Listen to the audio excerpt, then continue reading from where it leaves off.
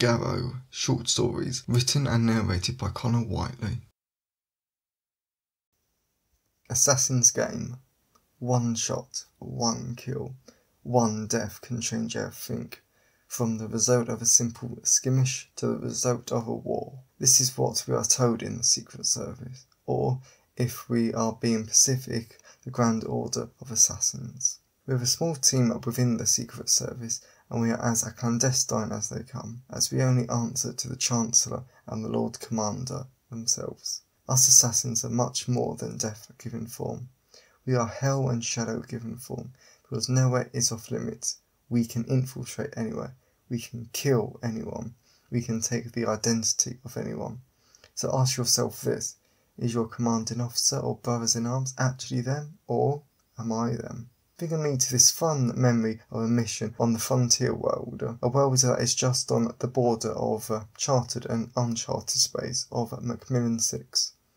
I suppose it was a beautiful, lustrous world, but I care little for beauty these days.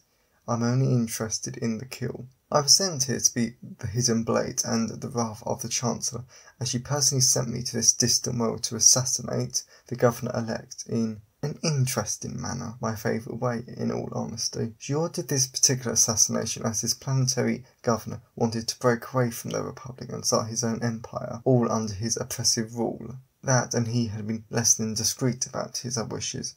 It only took two days uh, for the news to reach Earth, and another day for it to reach the Chancellor's desk, and then I was called in.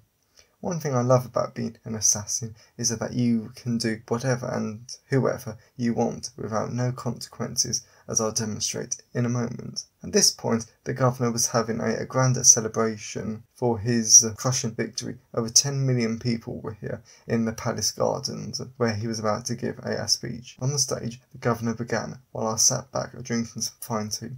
Citizens of Macmillan 6, today is the day. We have won our freedom. Today is the day we strike back at the oppressive Republic. As soon I will order our planetary defense forces to target all incoming Republic ships so we can send a clear message to the Republic. We are free. We are not slaves. Then he made his fatal mistake, and I smiled. He drank from his golden hip flask. I tainted with a unique type of poison. My own personal brew, if you like to know. Now Death's glorious agent can play.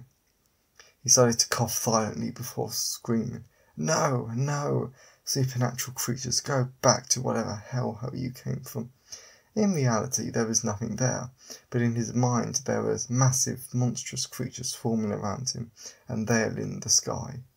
He waved his hands around violently, hitting himself repeatedly. Governor, are you okay? His supreme lord and commander asked. With a thought I sent, Kill him, to the governor.